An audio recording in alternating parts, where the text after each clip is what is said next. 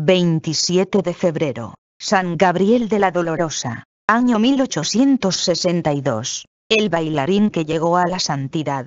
Nació en Asís, Italia, en 1838. Su nombre en el mundo era Francisco Posentí. Era el décimo entre tres hermanos. Su padre trabajaba como juez de la ciudad. A los cuatro años quedó huérfano de madre. El papá, que era un excelente católico, se preocupó por darle una educación esmerada, mediante la cual logró ir dominando su carácter fuerte, que era muy propenso a estallar en arranques de ira y de mal genio. Tuvo la suerte de educarse con dos comunidades de excelentes educadores, los hermanos cristianos y los padres jesuitas y las enseñanzas recibidas en el colegio le ayudaron mucho para resistir los ataques de sus pasiones y de la mundanalidad. El joven era sumamente esmerado en vestirse a la última moda. Y sus facciones elegantes y su fino trato, a la vez que su rebosante alegría y la gran agilidad para bailar, lo hacían el preferido de las muchachas en las fiestas. Su lectura favorita eran las novelas, pero le sucedía como en otro tiempo a San Ignacio, que al leer novelas, en el momento sentía emoción y agrado, pero después le quedaba en el alma una profunda tristeza y un mortal hastío y abatimiento. Sus amigos lo llamaban el enamoradizo. Pero los amores mundanos eran como un puñal forrado con miel. Dulces por fuera y dolorosos en el alma. En una de las 40 cartas que de él se conservan, le escribe a un antiguo amigo, cuando ya se ha entrado de religioso. Mi buen colega, si quieres mantener tu alma libre de pecado y sin la esclavitud de las pasiones y de las malas costumbres tienes que huir siempre de la lectura de novelas y del asistir a teatros donde se dan representaciones mundanas. Mucho cuidado con las reuniones donde hay licor y con las fiestas donde hay sensualidad y huye siempre de toda lectura que pueda hacer daño a tu alma. Yo creo que si yo hubiera permanecido en el mundo no habría conseguido la salvación de mi alma. Dirás que me divertí bastante. Pues de todo ello no me queda sino amargura, remordimiento y temor y hastío. Perdóname si te di algún mal ejemplo y pídele a Dios que me perdone también a mí. Al terminar su bachillerato, y cuando ya iba a empezar sus estudios universitarios, Dios lo llamó a la conversión por medio de una grave enfermedad. Lleno de susto prometió que si se curaba de aquel mal, se iría de religioso. Pero apenas estuvo bien de salud, olvidó su promesa y siguió gozando del mundo. Un año después enferma mucho más gravemente.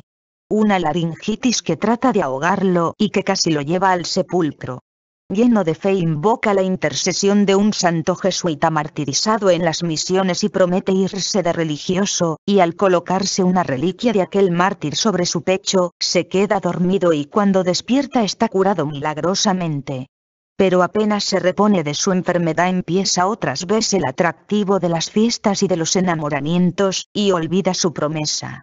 Es verdad que pide ser admitido como jesuita y es aceptado, pero él cree que para su vida de hombre tan mundano lo que está necesitando es una comunidad rigurosa, y deja para más tarde el entrar a una congregación de religiosos. Estalla la peste del cólera en Italia. Miles y miles de personas van muriendo día por día.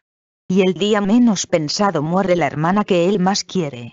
Considera que esto es un llamado muy serio de Dios para que se vaya de religioso. Habla con su padre, pero a este le parece que un joven tan amigo de las fiestas mundanas se va a aburrir demasiado en un convento y que la vocación no le va a durar quizá ni siquiera unos meses. Pero un día asiste a una procesión con la imagen de la Virgen Santísima.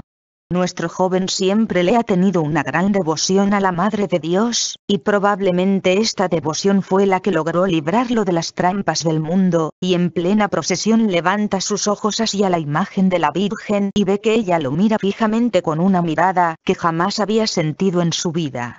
Ante esto ya no puede resistir más. Se va a donde su padre a rogarle que lo deje irse de religioso. El buen hombre le pide el parecer al confesor de su hijo, y recibida la aprobación de este santo sacerdote, le concede el permiso de entrar a una comunidad bien rígida y rigurosa, los padres pasionistas. Al entrar de religiosos se cambia el nombre y en adelante se llamará Gabriel de la Dolorosa. Gabriel, que significa, el que lleva mensajes de Dios. Y de la dolorosa, porque su devoción mariana más querida consiste en recordar los siete dolores o penas que sufrió la Virgen María. Desde entonces era un hombre totalmente transformado. Gabriel había gozado siempre de muchas comodidades en la vida y le había dado gusto a sus sentidos y ahora entra a una comunidad donde se ayuna y donde la alimentación es tosca y nada variada. Los primeros meses sufre un verdadero martirio con este cambio tan brusco, pero nadie le oye jamás una queja, ni lo ve triste o disgustado. Gabriel lo que hacía, lo hacía con toda el alma.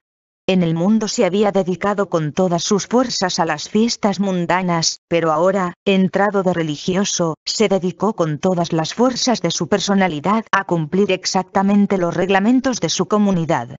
Los religiosos se quedaban admirados de su gran amabilidad, de la exactitud total con la que cumplía todo lo que se le mandaba, y del fervor impresionante con el que cumplía sus prácticas de piedad. Su vida religiosa fue breve, apenas unos seis años. Pero en él se cumple lo que dice el libro de la sabiduría. Terminó sus días en breve tiempo, pero ganó tanto premio como si hubiera vivido muchos años. Su naturaleza protestaba porque la vida religiosa era austera y rígida, pero nadie se daba cuenta en lo exterior de las repugnancias casi invencibles que su cuerpo sentía ante las austeridades y penitencias. Su director espiritual sí lo sabía muy bien. Al empezar los estudios en el seminario mayor para prepararse al sacerdocio, leyó unas palabras que le sirvieron como de lema para todos sus estudios, y fueron escritas por un sabio de su comunidad, San Vicente María Strambi. Son las siguientes. Los que se preparan para ser predicadores o catequistas, piensen mientras estudian, que una inmensa cantidad de pobres pecadores les suplica diciendo, por favor, prepárense bien, para que logren llevarnos a nosotros a la eterna salvación. Este consejo tan provechoso lo incitó a dedicarse a los estudios religiosos con todo el entusiasmo de su espíritu. Cuando ya Gabriel está bastante cerca de llegar al sacerdocio, le llega la terrible enfermedad de la tuberculosis. Tiene que recluirse en la enfermería, y allí acepta con toda alegría y gran paciencia lo que Dios ha permitido que le suceda.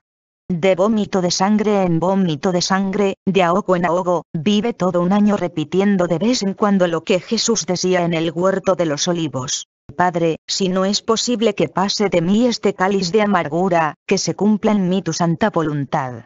La comunidad de los pasionistas tiene como principal devoción el meditar en la Santísima Pasión de Jesús y al pensar y repensar en lo que Cristo sufrió en la agonía del huerto, y en la flagelación y coronación de espinas, y en la subida al Calvario con la cruz a cuestas, y en las horas de mortal agonía que el Señor padeció en la cruz, sentía Gabriel tan grande aprecio por los sufrimientos que nos vuelven muy semejantes a Jesús sufriente, que lo soportaba todo con un valor y una tranquilidad impresionantes pero había otra gran ayuda que lo llenaba de valor y esperanza, y era su fervorosa devoción a la Madre de Dios.